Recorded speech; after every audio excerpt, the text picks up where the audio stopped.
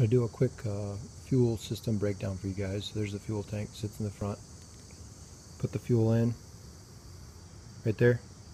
Fuel comes out, right there. This is the part that you screw on. So that's the part that screws on to the top of the fuel tank. I labeled the uh, different tubes with zip ties so you know which one's which, and I'll explain all of them.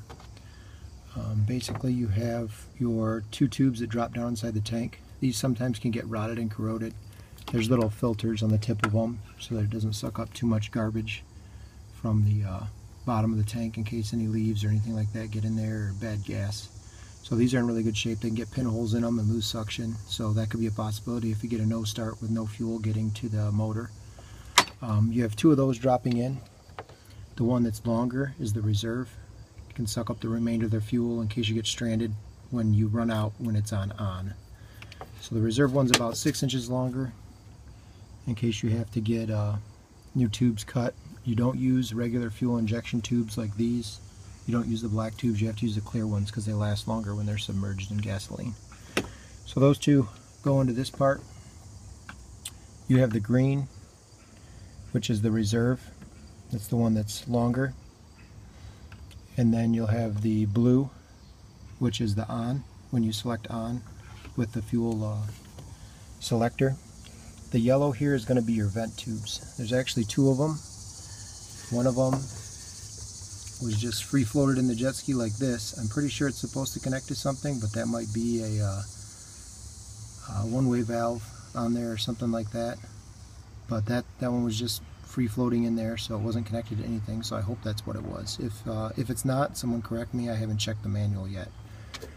Uh, the other two vent tubes that's the one that splits off at T's right here and then the other one actually connects way down in the bottom right there to the bottom of this plastic tub. So that's where the other one on, on that tees off. So the two uh, green and blue, which are the reserve and the on, those go, go up to your dial, and I'll show you that next. So this is the layout for your dial. On the left side, you're going to have the blue. On the back, you're going to have double yellow, which is the out. And then the green is going to be on the right. And that's with the dial facing you. So the double yellow comes out.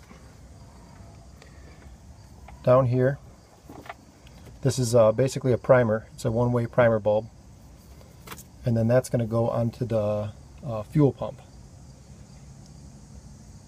The uh, red, which is the return on the back, is this one, which runs from here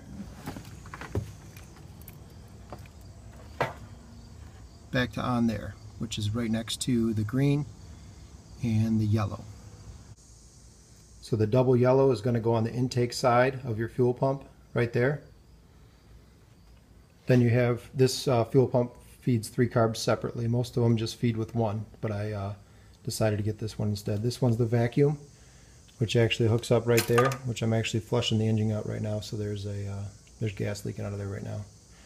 And then there's your fuel return, which would be that red